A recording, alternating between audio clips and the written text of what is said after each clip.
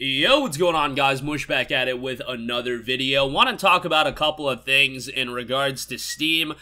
Game got pulled, another game got pulled, and then it came back to the Steam store. We'll talk about that, and there is a free-to-play period going on for a kind of a notable game that's relevant right now. We'll talk that at the end of this video. But first up, Fall Guys has gone free-to-play, but it has been pulled from Steam as well. It's become an Epic Game Store title, so um, yeah, this is an Epic Game Store deal. Uh, it is available free on the, uh, the Epic Game Store, but it is no longer available on Steam. Now, if you bought Fall Guys, it's still available for you to download, and you'll be receiving updates and everything like that. It's just for anybody that wants to play the game in the future. Uh, you gotta go through the Epic Game Store. That Epic Game Store money gotta be pretty spicy, so, um, yeah, I can't really blame Mediatonic for that one. I mean, I know people are going to be upset, but it is what it is. It's a free-to-play game, so if you do want to go check it out, it'll be available on the Epic Game Store. Kind of a bummer for some people, I get that, but hey, if you did buy the game, it is going to be available for you uh, in perpetuity. As long as the game is being supported, you will continue to receive updates and everything like that. So that is at least pretty uh, good. Um, another thing to note, uh, this one was kind of interesting. Alice Madness Returns. I don't know what the hell is going on with this game. Obviously a title published by EA. It got pulled from Steam for a while when EA migrated to Origin. Or I don't know if the game ever came out on Steam or if Origin was already a thing. Nonetheless, it came to Steam then it got pulled from Steam, and now it's back on Steam. So, like, it keeps going through this phase of getting pulled, removed, and then coming back on Steam. I don't know what's going on. I don't know if there's any licensing issues or anything like that. I don't think there are, because now the game's back available. If you do want to buy it, I mean, maybe if it sees a significant discount during this summer sale, maybe just buy it just to be on the safe side if it is a game you're interested in, just because you don't know when something like this is going to happen again.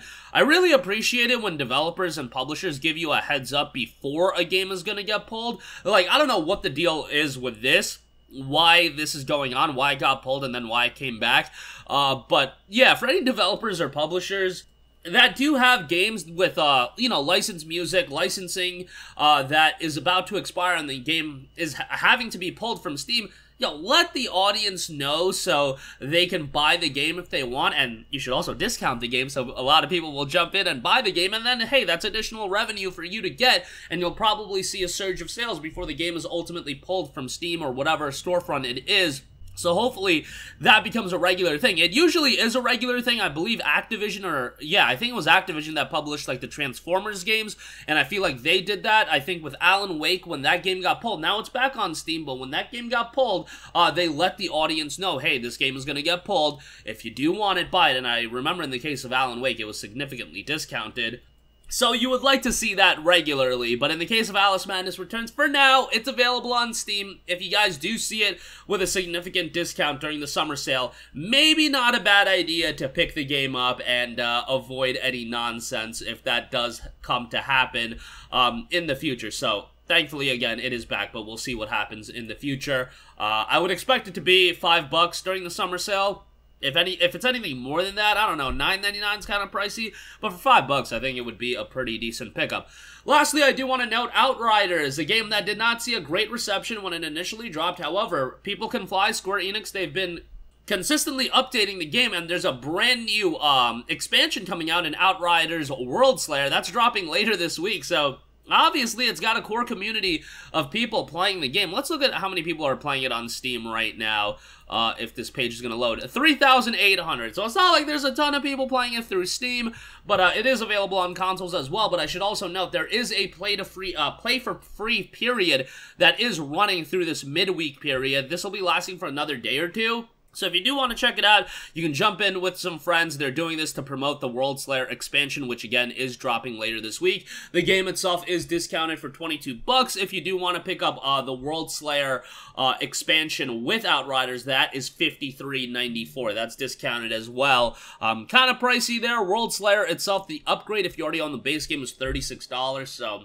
yeah, kind of a pretty penny there, but uh, what you gonna do? At least you can play the game free uh, during this midweek period if you do want to check it out. But that's gonna do it for me. Again, Fall Guys has gone free to play, but the game has been pulled from Steam. Alice Madness Returns, don't know what's going on there, but during the summer sale, if it does see a steep discount, I'll let you guys know, and maybe not a bad idea to pick it up. And Outriders seeing a play for free period uh, during this midweek, uh, June 20th until the 23rd. So you got a couple more days to check it out. And uh, if you pre-order World Slayer, you do get early access to it, like 48 hours early access. But that's gonna do it for me. Let me know all your thoughts in the comment section.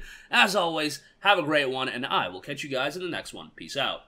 Hey, what's going on guys? Mush here again. Hope you enjoyed the video. As you guys might know, YouTube's notification system is sometimes a little bit wonky, even if you're subscribed to the channel. Maybe you're not abundantly aware that I uploaded a video to remedy that situation. Make sure you hit the bell notification button. This way, whenever I upload a new video, and I try to upload as consistently as possible, you will be notified directly of the upload, and you can watch it as soon as it goes live. I would really appreciate if you guys hit that button so you can stay up to date with all of the content I'm posting. But as always, guys, thanks for watching, and I'll catch you guys in the next one. Peace out.